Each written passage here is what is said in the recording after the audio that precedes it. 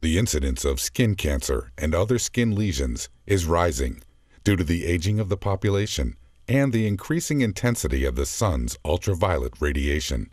Fortunately, cryosurgery using liquid nitrogen with a spray or probe is an easy, fast, convenient, safe, and effective way for primary care physicians to treat many common skin lesions.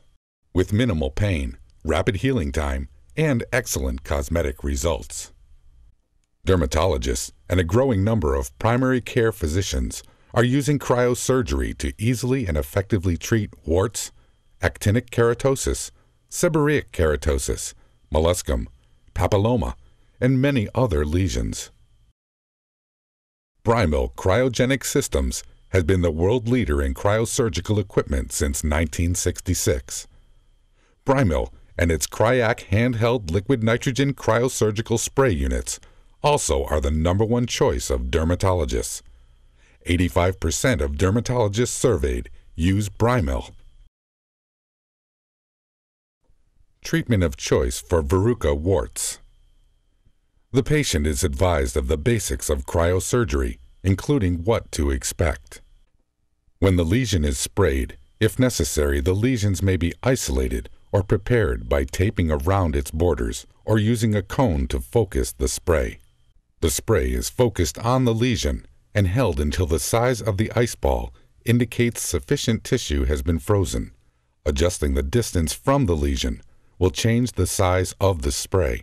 If deep penetration of freezing is necessary, narrow the spray to smaller than the lesion and allow the ice ball to progress, covering the lesion and extending 2 to 3 millimeters beyond the benign growths. If shallow depths are indicated, use a spray equal to the size of the lesion and freeze for a shorter period of time. A freeze, thaw, freeze cycle will provide a greater lesion destruction while minimizing normal tissue death.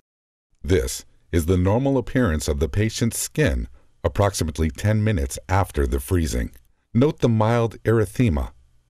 The patient should be advised to understand that the lesion will look essentially the same for the first day or so, and then may become crusting or forming a scab. The lesion will slowly crumble over the next two to three weeks.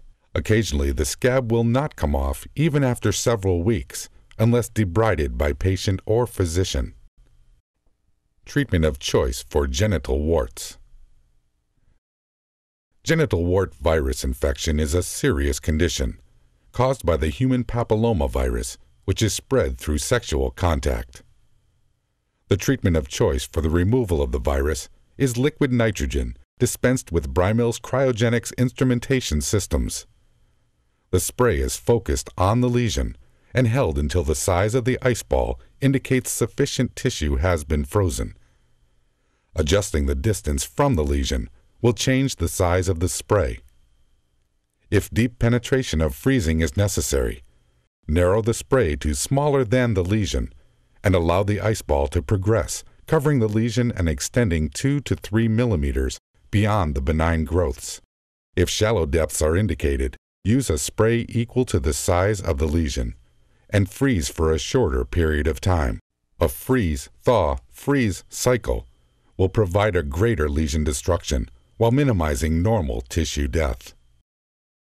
Advantages Ease of treatment, no need for needles or cutting, lack of scarring.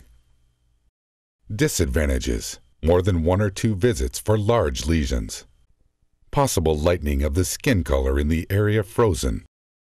The patient should be advised to understand that the lesion will look essentially the same for the first day or so, and then may become crusting or forming a scab. The lesion will slowly crumble over the next two to three weeks. Occasionally, the scab will not come off even after several weeks, unless debrided by patient or physician. Filling the Brymill Cryac unit. Brymill's withdrawal tube system, an efficient, cost-effective, safe and fast way of dispensing liquid nitrogen into Brymill's Cryac. First, insert the withdrawal tube spout into the Brymill Cryac. Then, lower the withdrawal tube into the dewar and form a seal. The pressure of the liquid nitrogen will automatically fill the Brymill Cryac. Remove the withdrawal tube and place it in the handle. Secure the lid-filled cryac and it is now ready to be used. Spray tips, probes, and accessories. Brymill's cryac units come with spray tips with apertures of varying sizes, which help control the width of spray and provide for controlled treatment of lesions of different sizes and types. Brymill's cryac units also allow the use of probes, which may be used to control the freezing of lesions on the skin and inside the body cavity.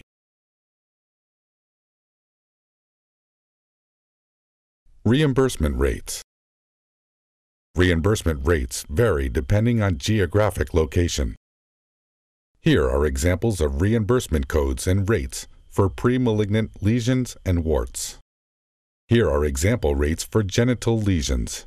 In general, cryosurgical treatments are recognized and reimbursed by both private and governmental insurers, including Medicare.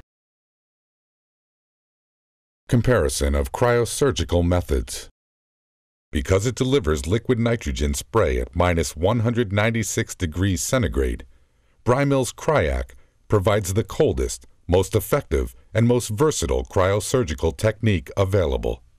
Other advantages of liquid nitrogen cryosurgery with Brymill's Cryac unit are it is easy and fast. Most lesions require freeze times of just 5 to 30 seconds. Cosmetic results are excellent with little or no scarring. Physicians can treat over 100 different benign and malignant lesions. After the initial purchase of equipment, it has a very low cost to use on an ongoing basis because liquid nitrogen is much less expensive than other cryogens. It is very durable equipment. Some doctors still use Brymill units made over 25 years ago. A disadvantage of liquid nitrogen cryosurgery is that the liquid nitrogen may evaporate before it is used up. However, Brymill's long-last storage tank can now hold liquid nitrogen for up to 300 days. Liquid nitrogen also can be applied with a cotton swab. The advantage of this method is that it is low cost and simple. Disadvantages of the cotton swab method include the temperature of liquid nitrogen is much less cold when it is applied with a swab. As a result, it is less effective than liquid nitrogen applied with a spray with Brymill's Cryac. It also takes longer to freeze lesions with a swab. In particular, deep lesions cannot be treated effectively. Additional disadvantages are that the swab method has less control and precision. There is greater potential for cross-contamination. And as already mentioned, liquid nitrogen has a limited shelf life when not stored in a 300-day storage tank. Some cryogens are available in disposable spray cans. The main advantages of these are the freezing agent is stored in the spray unit, so separate storage is not needed, and they have a long shelf life. However, compared to cryosurgery with liquid nitrogen applied with Brymill's Cryac, disposable systems have many disadvantages. The main weaknesses of disposable systems are they have much higher cost to use on an ongoing basis because you have to repeatedly buy the disposable spray cans. They provide less cold temperatures and therefore are less effective. They take longer to achieve freezing. They offer much less control and precision. They are indicated for use on far fewer lesions. For example, one disposable spray unit is only indicated for use on nine lesions. This unit also uses some flammable ingredients. Nitrous oxide is commonly used for gynecological applications and has a longer shelf life than liquid nitrogen.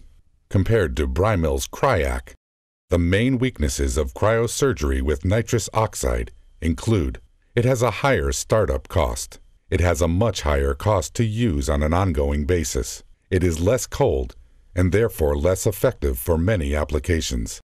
It takes longer to achieve freezing. Cosmetic results are generally not as good. A venting system is recommended, which is an added expense. It is not easily portable because it is attached to a large, heavy tank. The storage tank is highly pressurized at 860 pounds per square inch. There is no spray option. Nitrous oxide only uses probes which must be sterilized before each use.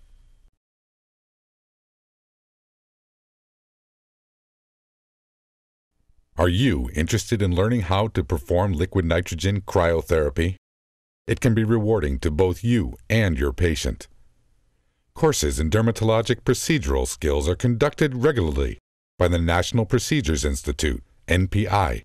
Dr. John L. Pfenninger, editor of the bestseller Procedures for Primary Care Physicians by Pfenninger and Fowler, is the medical director of NPI. They have been teaching physicians cryotherapy techniques for 15 years. Call them at 1 800 462 2492 to request a free catalog or go to their website www.npinstitute.com.